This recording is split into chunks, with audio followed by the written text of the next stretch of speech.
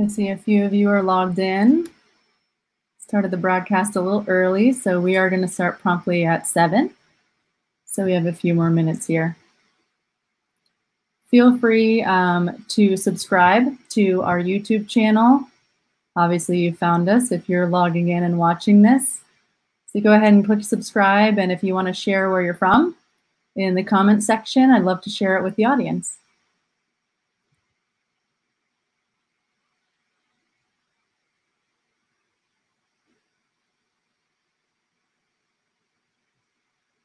Hey, Sharon. Glad to see you here.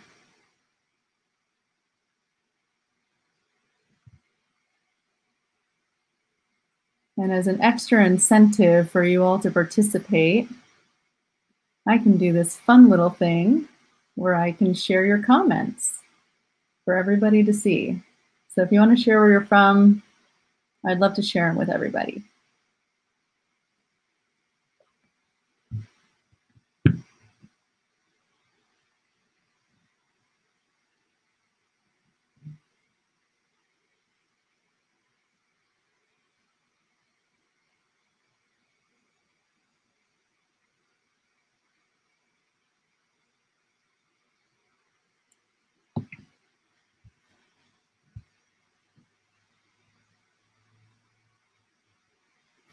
Nobody wants to share where they're from yet. Oh, we got an Australian in here. Hi, Sarah. Very cool. What time is it over there? What is it, 15 hours? 15?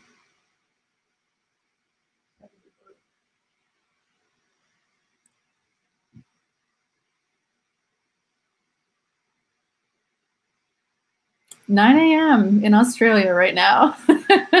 I'm trying to set the mood for you, Sarah. I've got the lights dimmed. we have someone from Fort Myers. Awesome. A little bit closer than Australia.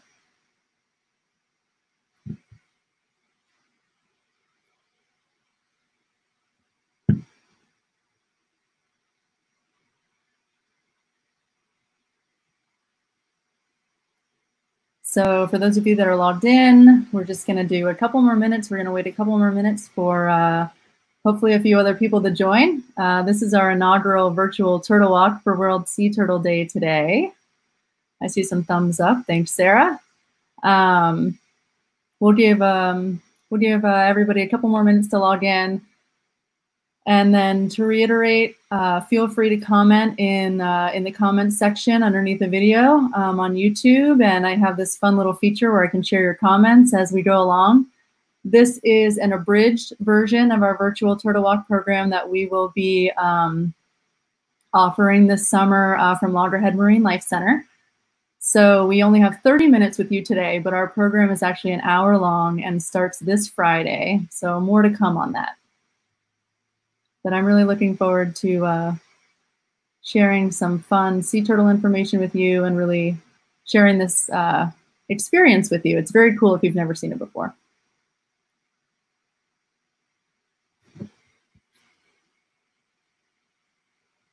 Okay, now we're getting some views. If you all want to share in the comments where you are tuning in from, that would be wonderful. We have Jupiter, Fort Myers, Australia. I know there's more.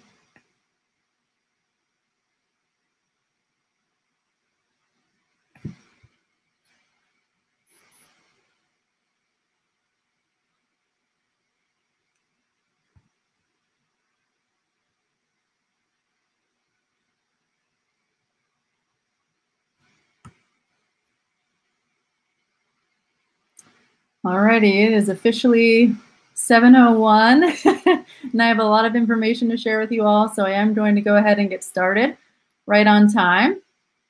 Those of you that are logged in, if you see any confused people in the comments and you want to set them straight, please help me out. Feel free to comment back. That's really helpful for us. Oh, we got someone from Palm Beach Gardens. Hi, Deborah. All right, so welcome, welcome. Um, I, my name is Hannah Campbell. I'm the Director of Education here at Loggerhead Marinelife Center. So I'm tuning in uh, with you all from Juno Beach, Florida in the United States. Um, we do have some international guests here, which is pretty fun for us. And we are going to be talking about, uh, well, mostly we're going to be talking about the importance of the ocean and how it really connects all of us and, and, why the ocean is important for our overall health. But um, to do that, we've used a really fun segue um, of the nesting process with sea turtles um, that hopefully will be a very cool experience for you all. We have some really neat permitted footage that we've captured uh, here in Florida of these awesome creatures and this really ancient process. Um, so those of you that have not seen a uh, sea turtle uh, nesting, today should be a really uh, fun and unique experience for you. All right, so let's go ahead and get started here. Happy World Sea Turtle Day, everybody. That is today, at least you're, if you are uh, in this time zone still, 16. Like I said, um, I'm tuning in with you all from Loggerhead Marinelife Center. Um, it is our mission to promote the conservation of ocean ecosystems with a special focus on threatened and endangered sea turtles. And we do that in a number of ways.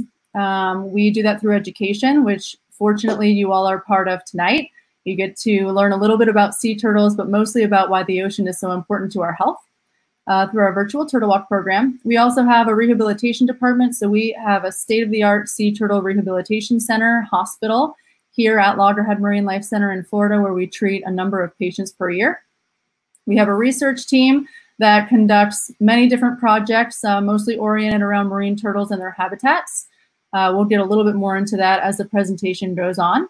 And of course, conservation is in everything that we do. It's in our blood. Um, so be it conservation through research, rehabilitation, education, calls to action. We have a marine debris database that we monitor here with our conservation team. Um, we are all about uh, educating people on why the ocean is important and, and really connected to their lives, no matter where you are in the world, and, uh, and sharing with folks what they can do to help. So conservation is a big part of our mission.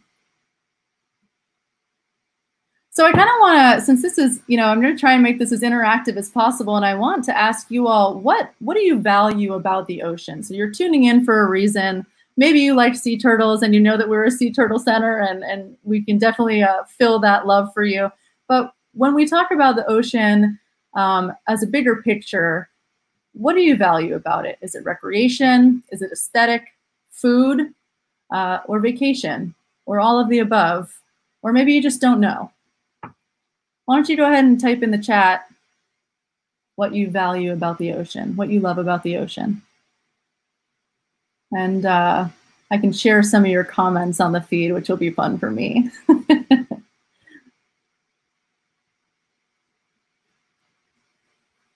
right, Deborah says, all of the above. Agreed?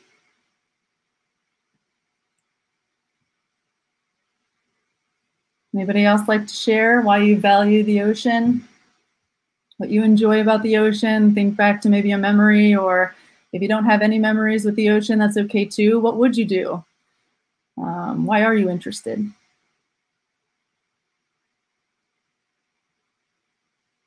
Hello, Elena from Chicago.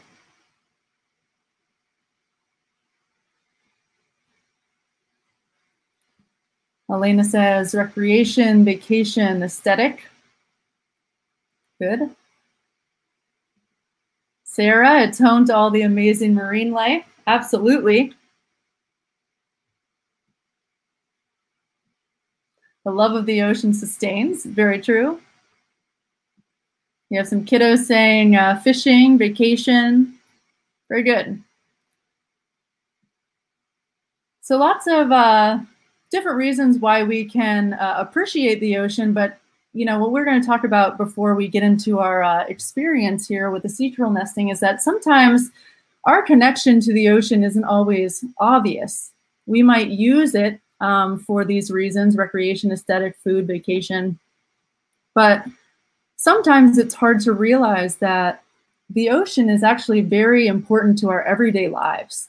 Um, so we like to say here that the sea turtle tells us the health of the ocean and the ocean, the ocean tells us, tells us the health of the planet. Um, and it does it in a number of ways that we kind of take for granted, at least most people take for granted every day. Um, for example, phytoplankton tiny microscopic organism, plant organism, produces over 50% up to 80% of the Earth's oxygen. So do the math, and every few breaths you take, guess where it came from, right? So breathing, even simple as breathing, our everyday lives, the ocean really plays a critical role. You think about uh, evaporation. Um, when you think about the water cycle, you might not think about water storage. Well, the ocean covers about 70% of the Earth's surface. That's a lot of water that's being stored um, on the planet. And 86% of global evaporation comes from the ocean, meaning that that rainfall, that critical fresh rainfall that we get, about 10% or an important amount of it comes from the ocean and that evaporation that's occurring across the world. So even things in our everyday life, the ocean really plays an important part. So where do sea turtles come into play? So all over the world, sea turtles are around. Um, they're threatened, endangered. We protect them and conserve them for a reason. We'll talk about that as we watch a uh, mother lay her eggs and nest on a beach tonight. Um, but sea turtles play an important role all over the world, whichever species you want to focus on, whether it's hawksbill, leatherback, green, loggerhead, Australian flatback for our folks tuning in from Australia, and the Ridley's, uh, Kemp's and olive. If you want to type in the comments what turtles, what sea turtles you have in your area if you know, that would be great while I kind of go on here. So the question is, where do sea turtles come into play as far as the health of our ocean and, and really the health of our planet? Well, we can start by asking ourselves, well, what is a sea turtle? right? That's important to know. So a little facts about sea turtle take you back to uh, take you back to grade school. They are air-breathing marine reptiles, so they do have to come to the surface to breathe air. They have non-retractable flippers. That means that when they're scared, guess what they can't do? They can't hide in their shells, right? They're pretty exposed out there to predators. Um, they have modified bills, beaks, um, for uh, depending on the species, depending on what niche they fill in the ocean and what they eat, um, is a big pressure on, on the shape of the beak. Um, they also have magnetite crystals that have been found um, in their heads, in their skulls, in their brains, and it helps them navigate all over the world using the Earth's magnetic system. So pretty remarkable animals. They're vertebrates like us. That's something we have in common with them. You can see here in the presentation, you can see that backbone. This is a radiograph of a sea turtle. You have the ribs coming off of here. Of course, sandwiched between two shells that we don't have, but and those, uh, those shells are called carapace and the plastron. The carapace is the top side of the shell, the plastron is the bottom. So I see that some of you are uh, tuning in here saying all around the world, geez, we have loggerheads and greens, few leatherbacks, leatherback, loggerheads, greens. We have some folks in Hawaii. There's green sea turtles, loggerheads, leatherbacks. Somebody, Sydney, tuning in from Hawaii, doing research research on green sea turtles. Fantastic. Right. So we have a little bit of an understanding, right? Um, what is a sea turtle? Where they live? Found all over. Well, the sea turtles play a critical role to keeping the ocean and coastal ecosystems healthy. And these is this is just a handful of the ways that they do that. And I'll kind of go through a few before we get into our uh, virtual turtle walk experience. So one of the ways is controlling habitat. So maybe through your schooling, or if you are a kiddo tuning in and you're schooling right now, you're learning about uh, the food web um, or how every organism really has a place in the ecosystem that's very important. And if it weren't for that, um, organism, things would be very different.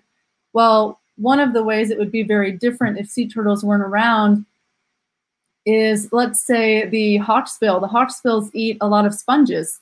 Sea sponges um, are in constant competition on uh, coral reefs, uh, nearshore reefs, uh, for space with corals, right? So if hawksbills weren't controlling some of that sponge growth and, and some of that habitat manicuring, um, then we would have a very different looking reef system, uh, maybe a little bit less biodiverse. You can say the same about the green sea turtle down here who's munching on some seagrass. Um, they, uh, we, we kind of joke here uh, that they're kind of the lawnmowers of the ocean, right? So without them cutting back that seagrass, maybe that seagrass bed comes inhabitable um, for other uh, invertebrate animals or other animals that, that really uh, depend on some of that space being trimmed up. They also nourish beaches. So sea turtles are very unique in uh, the fact that they are marine animals, meaning they live in the ocean, but they lay their eggs on land, which is what we're going to be uh, witnessing in just a couple minutes.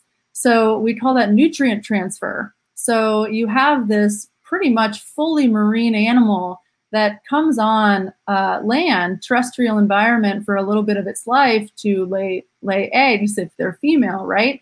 Um, and those eggs, believe it or not, they provide a lot of nutrition to the to that terrestrial environment when they break down and biodegrade and decompose.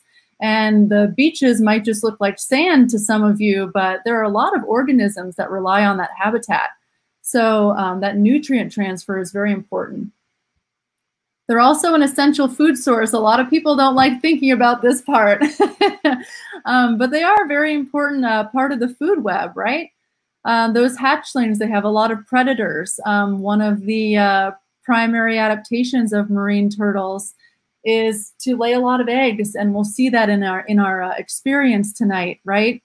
And uh, naturally, they do that because they know, well, they know that uh, there's a lot of uh, sea turtles that that are food for a lot of predators, especially when they're young and they're very small hatchlings like this size.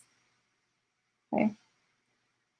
And then there's the food web check and balance system, right? So you see a, a, a turtle up here eating a jellyfish and another down here um, eating another soft-bodied squid animal. And what they're doing is, you know, they're predators too for a number of prey items. So without them, you know, what would happen to that prey item population, right? It would be vastly different if this if these animals weren't in the environment.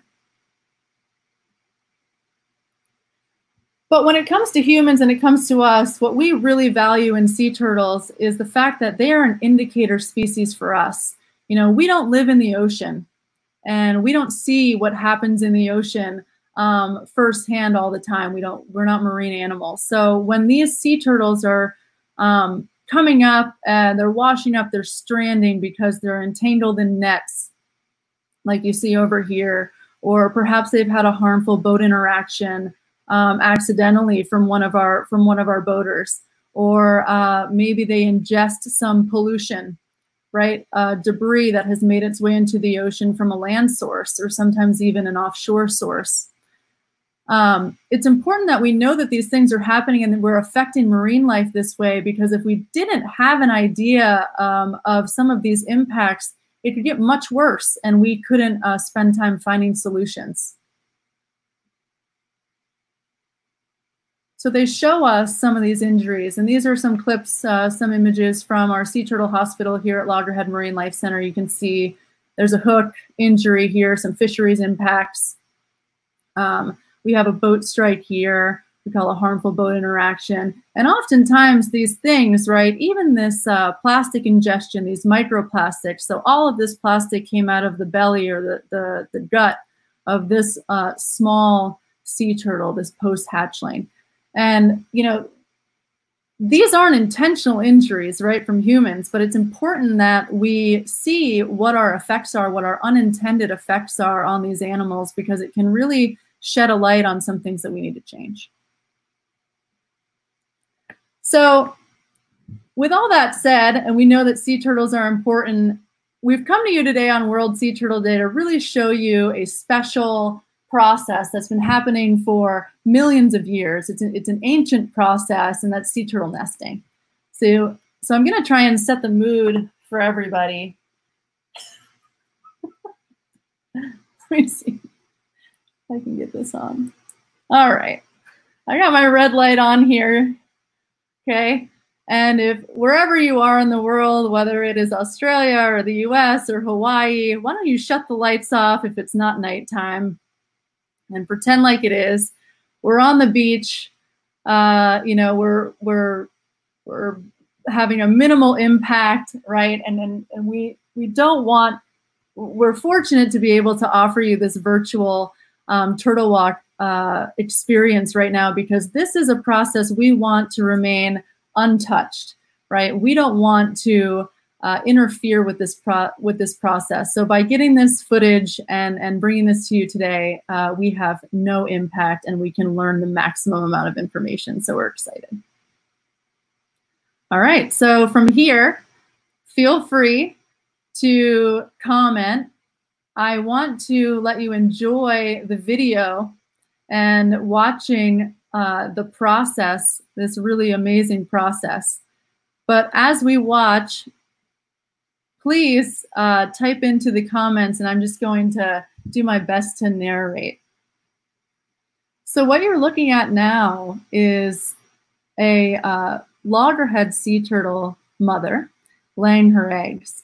So she has made this incredible, uh, strenuous journey, you know, back to her natal nesting beach. So that means that uh, sea turtles return to nest on the same beaches that they were born on, give or take a few miles.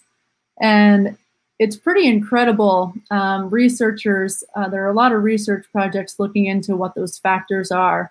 Um, but think back to those magnetite crystals that we talked about in the beginning, and maybe you'll have a clue. So they're swimming around in the ocean and they emerge and they, they crawl up onto the beach, which if you can imagine, uh, being in the ocean, you're a lot lighter than you are on land. So it's quite strenuous. And they craft this perfect nest that's safe uh, for the eggs that they will deposit and later cover, which we're going to watch. So I'm given some questions here. So anyone wants to know how long does it take them to lay their eggs? So it depends on the female. Um, depends on where she is in the nesting in the nesting season. So sea turtles will um, will lay multiple nests nests per season, and sometimes they have more eggs to drop. Sometimes they have less. Sometimes they have energy because it's earlier in the nesting season, and sometimes they have less energy because there's a lot of fasting that happens in the nesting season. So it all kind of depends. This experience tonight uh, with all of us together is going to be about 12 minutes, which is a uh, accelerated version if you were uh, an actual sea turtle doing all the work.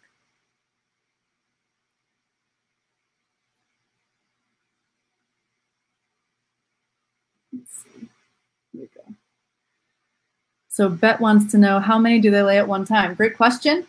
Um, you can see, oh, right there, you can see that several eggs do come out at once, usually in twos and threes. And you can see if you look closely, those contractions that are happening, that muscle bringing those rear flippers out as the eggs come out. Elena wants to know, do the eggs ever crack while she's laying them? Uh, well, fortunately, uh, sea turtles, and I shouldn't say fortunately, it's actually a, a, an, adaptation. Um, they have a, a softer uh, material that the eggs are made out of. So if you think of a chicken egg, and you think of a sea turtle egg, it's it's a very different um, uh, different look and a different feel, and that's because they have to drop so far from the cloaca, which is um, this organ here, and down into this nest, which can be quite a ways. So that that softer, almost rubbery um, shell is helpful um, for that. Hi, Danielle. It is like a dented ping pong ball. It's a really good, uh, really good analogy, Jeremy. So you can see here, um, this is a zoomed in shot of the cloaca and you can see those eggs dropping. The cloacal opening is actually located near the tip of the tail. So this bit here is actually the end of the tail. Um, and this expands and uh, enlarges during the uh, the deposition process, which is what we're in right now. Uh, they do lay multiple eggs at a time, Danielle. You can see those eggs being dropped. Now, the size of the egg varies on the species of the turtle. Uh, typically larger the turtle, larger the egg. So if we think about leatherback sea turtles, which is the largest um, of the sea turtle species, those eggs are going to be a little bit smaller, just smaller than, uh, let's say, a tennis ball. Would probably be the best analogy. Whereas these guys are going to be, um, these eggs are going to be around a ping pong ball size. I hope all of you have your lights off for this. It's because lighting is very important um, when we do our research. You can see that I have an amber light on my head today, and all of our researchers use amber lights, red and amber lights, uh, which we call sea turtle safe lighting, um, when they conduct their research. You see sea turtles um, over evolutionary time, they've um, evolved to have quite a different uh, vision than us.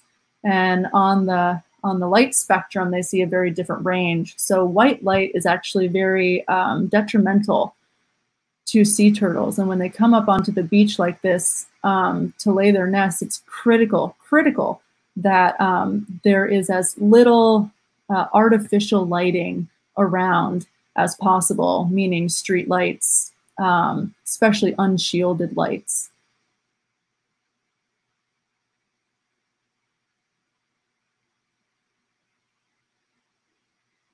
We're getting into focus here.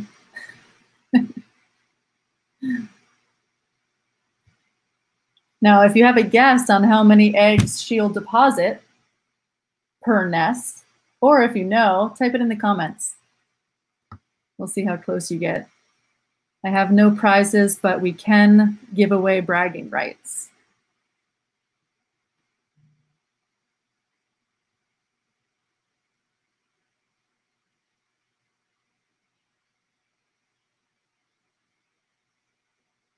80 to 120. Good guess. Hi, Ashley. So now we'll, we'll keep the guesses coming. Keep those guesses coming per, per nest. And maybe you even want to get very, you know, creative and, and maybe even go by species. Do all species have the same amount of eggs, right? So what you're looking at now, folks, is uh, the next stage in the nesting process. So after this mama sea turtle has worked real hard to deposit her eggs in the egg chamber, she's going to pack that sand that she had previously excavated, right, from the chamber back on top of the eggs. So we get a lot of questions here at Loggerhead Marinelife Center. Um, well, what happens if I'm walking down the beach? I mean, I, I, know that there's sea turtle nests on the beach, and am I harming them in any way? Well, the short answer and the simplest answer is probably not. Um, uh, maybe if there are some umbrellas used, which we'll, we'll talk about in a little bit. But as far as your, your walking, no problems at all. She does a really great job, and you can see it here as she kneads the sand with these rear flippers.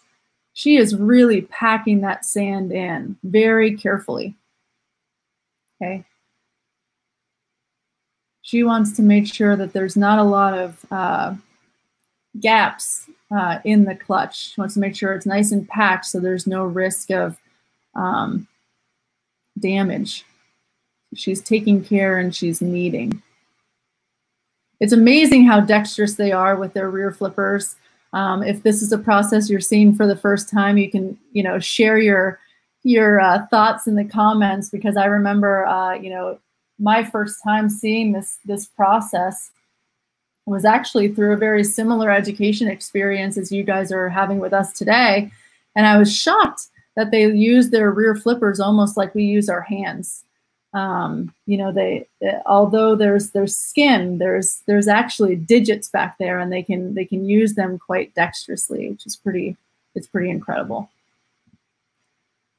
All right, so I have some guesses on the egg counts here.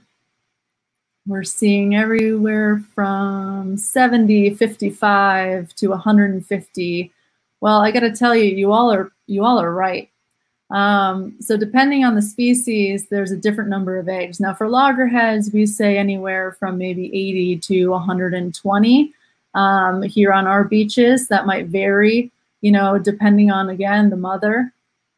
But other species have as little as maybe 40 or 50 and as many as, you know, pushing 150 or even up to 200 for some of the smaller species.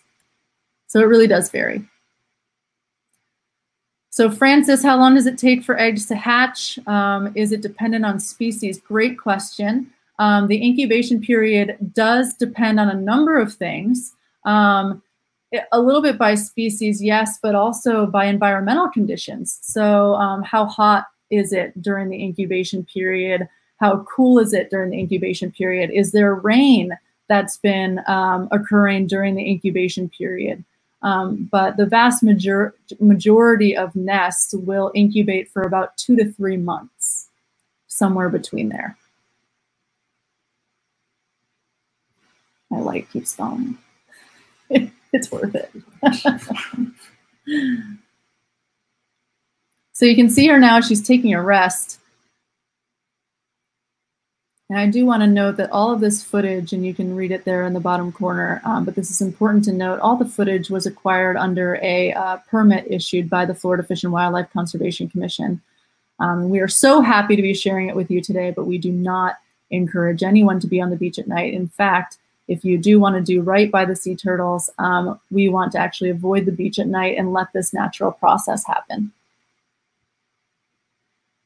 So you can see her moving her rear flippers here um, really packing in that sand.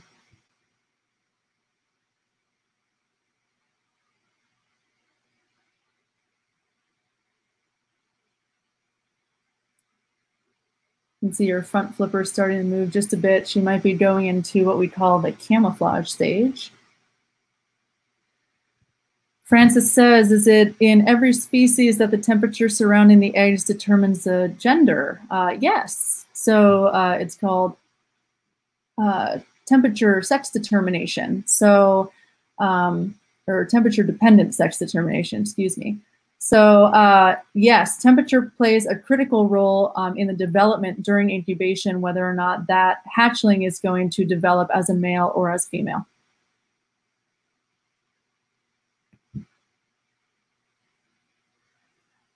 How deep do they bear the eggs? Well, funny enough, it depends on the mother, right? So it depends on how uh, long those rear flippers are. Um, when they craft that egg chamber, they're using their rear flippers to excavate that sand. Um, like I said before, kind of like we would dig a hole with our hands, um, pretty expertly. So depending on the length of the flipper, that's going to determine the, uh, the depth of the clutch uh, sorry, the, the depth of the egg chamber. So now you can see our mama here, Mama Loggerhead, is using her front flippers. So we've moved from really kneading that sand down and filling that hole to using some of the front flippers to do what we call camouflaging. So if you remember, uh, if you tuned in for this whole experience, you remember me talking about uh, their critical role in the food web, right? We don't really like thinking about that, but uh, they do have many predators, those little hatchlings and the adults as well. Um, but even on the beach, there's terrestrial predators. There's the yellow crowned night heron. There's uh, the ghost crabs. There are um, in the morning, uh, maybe if in the early morning when they're emerging from the nest and they're all working together to come out of the nest and and crawl to the ocean. There's all sorts of seabirds, shorebirds um, that are out there looking for that food source. So um, she wants to camouflage very well, which is what you'll see here uh, with her front flippers. If I can get my mouse back, here we go. With her front flippers here, because not only does she want to cover maybe her tracks for visual cues, but she also wants to cover the scent um, of those eggs. And for anyone that is tuning in that has done any sea turtle research, you know what scent I'm talking about. So here she is returning to the ocean.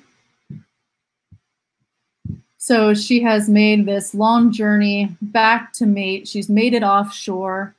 Uh, she's, um, she's crawled up from the beach, crafted an egg chamber, deposited her eggs, packed them down very carefully, to protect them, and now she returns to sea. And if you notice the way she crawls, it's actually a pretty important part of um, what our researchers in the morning look for when they're doing their uh, what we call nesting survey, nest uh, index survey.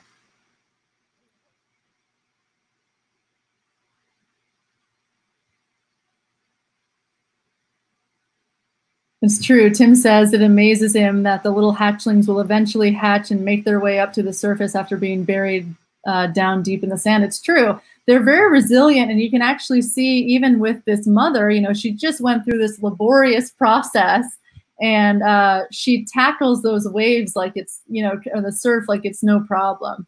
Uh, we've seen sea turtles, uh, you know, when they're uh, coming up to nest, go through escarpments that are very tall. So they are they are pretty resilient creatures.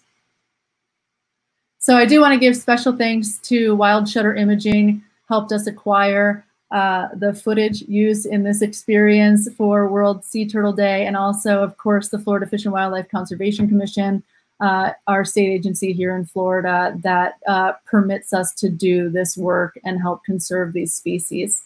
So I hope you all enjoyed this. It certainly isn't over. I would love to take some more questions um, in a little Q&A here. So if you do have any questions, please feel free to type them in the in the comments. I'll take my light off now.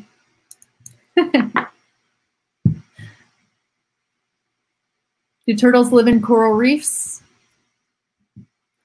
Absolutely, Danielle. Uh, they uh, they use the coral reefs as a food source. They use it as habitat for resting. Uh, we, as as you know, divers have a little bit of a joke that sea turtles use this. If you can't see, if I can't see you, you can't see me, kind of mentality, and they'll stick their faces kind of under these ledges, these natural occurring ledges on the reef, and it's quite funny to see. But it's it really uh, serves as a shelter um, for them against predators like sharks.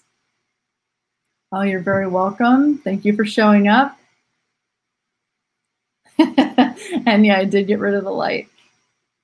And happy World Turtle Day, everybody. Um, so this is just a premiere um, of a new program that we are launching, this virtual Turtle Walk program. It does start this Friday, and it is much more uh, uh, in-depth than we had here today in just a few uh, short minutes, like a half hour.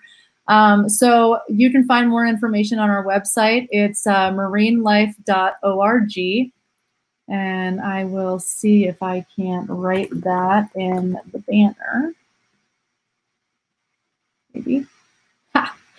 Uh, marinelife.org. So you can go to this website and you can check out some of the virtual programming that we have, either uh, whether it's this uh, virtual Turtle Walk program or some of our virtual learning uh, experiences that we have as a free resource. So we will be uh, conducting these every Friday and Saturday nights at 7 p.m. Eastern Standard Time. I'm so glad you all enjoyed it. Hopefully you learned something and enjoyed World Sea Turtle Day. You're very welcome. I will continue to take any questions. We still have about 50 folks watching, so if you have any questions, let me know. Do we know how far they come? Pat wants to know. The sea turtles, when they come up to nest, how far they've traveled. Well, um, around the world, we typically see sea turtle populations. Um, so uh, they're kind of broken out into these regions that they tend to inhabit. And while some species of sea turtles do migrate quite a long ways, um, uh, in, in some cases uh, uh, across an entire ocean. Um, we tend to group them in by population. So uh, here in our neck of the woods in the Northwest Atlantic, we'll see sea turtles that will uh, migrate and travel uh, into the, the Gulf, from the Gulf of Mexico in that area where they're maybe foraging or in some species where they start and begin their life all the way up the eastern uh, seaboard, um, and then into the uh, northern Caribbean as well. So these uh, sea turtles, whether they're mating or foraging or nesting, may do so in, in, in different areas of our of our region.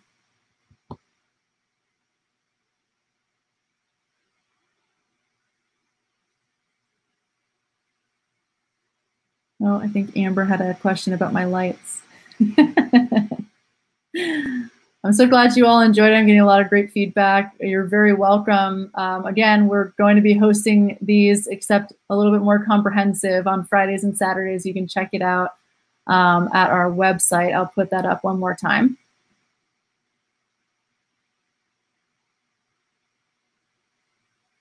And so Enya wants to know, I've seen nesting states marking a nest really far up the beach. Do sea turtles ever nest all the way up by the dunes? They do. Um, in, in our neck of the woods, the, uh, we call it, well, we call it resource partitioning. So when sea turtles come up and they nest over time, they've really uh, partitioned the areas of beach of the different species at different times along the nesting season, uh, what parts of the beach they'll utilize. And the green sea turtles in our uh, in our neck of the woods tend to nest very close to the dune line. Um, in other parts of the world, uh, you may see hawksbills nest all the way up in in um, maybe even mangrove, uh, uh, black and white mangrove sections, and they like to utilize uh, a more densely vegetated part of their nesting beach. So it's very interesting. All right, to wrap up, a couple more questions here. Is the turtle population strong? Um, so we are firm we are firm believers here at Loggerhead Marinelife Center about conservation optimism. Um, while there is much much work to do, uh, we are seeing a, a tide being turned, so to speak. And in our in our um, area here in the Northwest Atlantic, we are seeing positive population trends.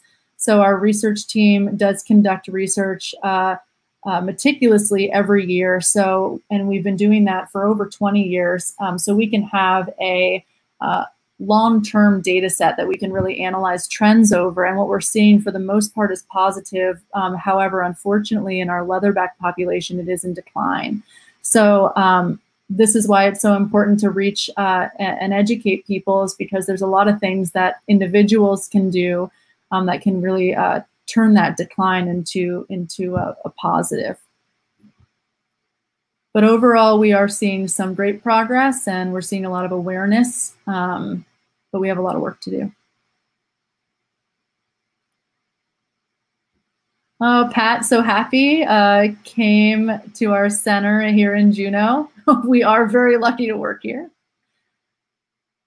Um, Elena was asking how long does it take for the eggs to hatch? I had mentioned this a little bit earlier. It's about two to three months, depending on the species and the, and the nesting conditions. All right, very, this is great, everybody. Thank you so much for tuning in. Happy World Sea Turtle Day. I hope you enjoyed it. Um, don't forget, one more time, I'll put our website up here, uh, Marine Life, marinelife.org. Um, you can go there and you can learn all about our virtual programming that we have. So no matter where you are in the world, you can share with your friends and your family um, that we have some experiences that you can take part in. And starting this Friday is our first full virtual Turtle Walk program where we will do a lot more elaborating on the importance of um, the ocean in your life, the ocean for your health, um, where sea turtles fall into um, that, and then of course uh, some really great uh, footage and a sneak peek of what that nesting process, that ancient process is like. So we look forward to uh, seeing you all hopefully again soon, and thank you so much for tuning in.